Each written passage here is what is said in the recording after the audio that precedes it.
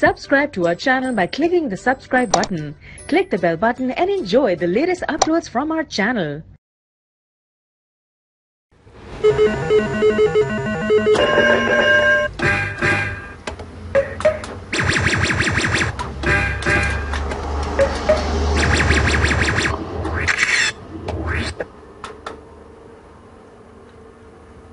What are you looking at?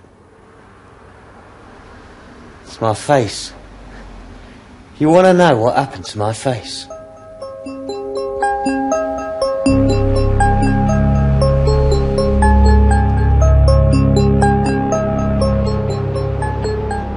You know how it is. There's always plenty of work to do before sailing. It's tempting to cut corners and save time. Uh, Take a friend of mine named Sanjay. He thought it was safe to stand on the guardrail when his ship was in port. Oh, yes. He should have used a ladder. Guardrails are not designed to be climbed on in safety. There's nothing to prevent you from slipping off. My friend Sanjay gambled with his safety, and it cost him more than his dignity. He spent three weeks in hospital.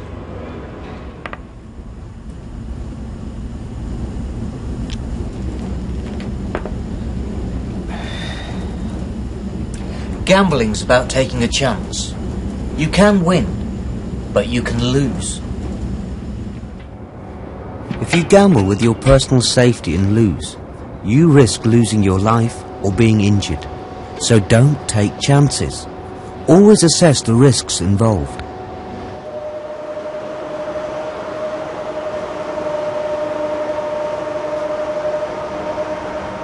Moving loads are a constant hazard and can appear from nowhere.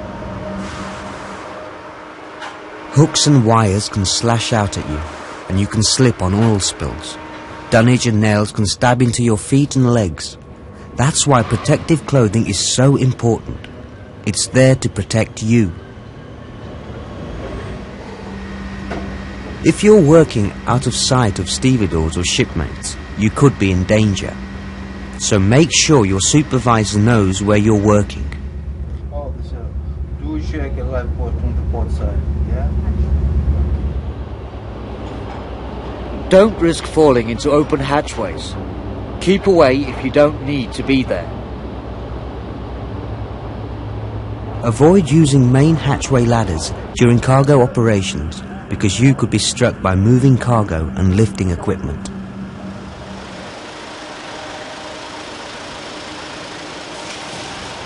It is better to use indirect access to hatches if your ship has them. Cargo lifts can damage hatchway ladders, so always check their condition before using them. And all access routes should be kept clear of obstructions. Report any obstructions to your supervisor. A clear mooring deck is safer than a cluttered one. Make sure that mooring lines are not obstructed. Whether he uses a helicopter or a boat, the ship's pilot needs a safe area for boarding and disembarking.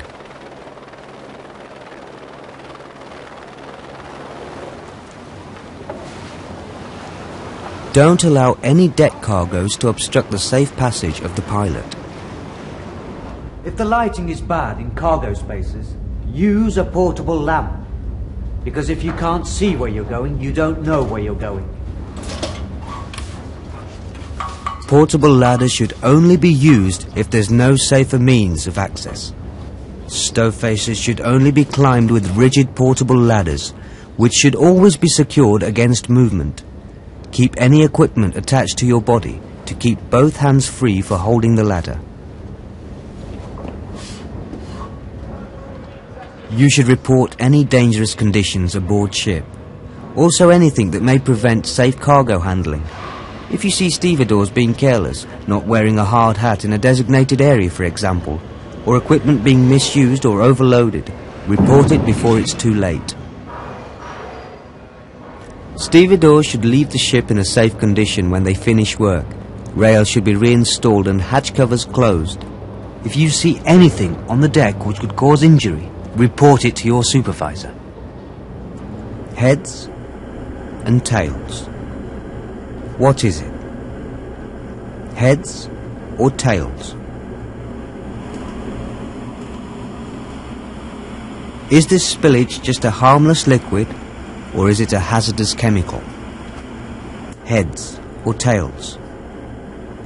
Are you willing to take a chance? Is it harmless or hazardous? You should assume any leak is hazardous until you know otherwise. Check any leaking cargoes for hazard placards and report any suspicious leaks. For your own safety, get to know the location of hazardous cargoes.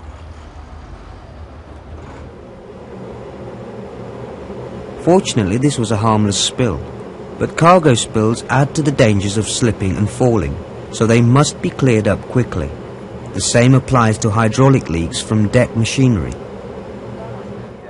Yeah. We did have a problem with that leaky container, but that's all sorted If out. you suspect a gas leak, Yeah. evacuate the area and report it. Only authorized crewmen should investigate the suspected gas leaks with proper gas detection equipment and protective clothing. If a smoking cargo is placarded as dangerous, be prepared to retreat to a safer area. Don't tackle serious fires without proper protection and equipment. Assess the situation and the possible dangers first.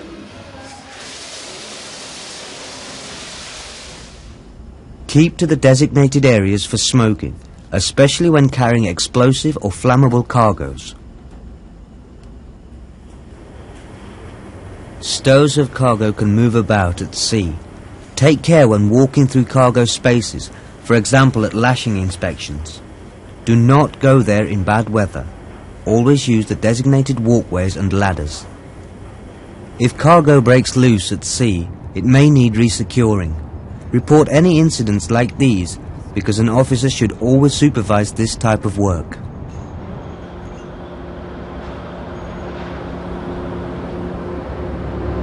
About my face. Let me tell you what happened. I was a ship's electrician. I was going on shore leave. I was in a hurry to finish a job on the deck. I didn't want to go all the way down to the control room to isolate the power. I just wanted to finish the job quickly and get ashore. So it wasn't loose cargo. It wasn't acid or anything like that. It was simply a bad move I made.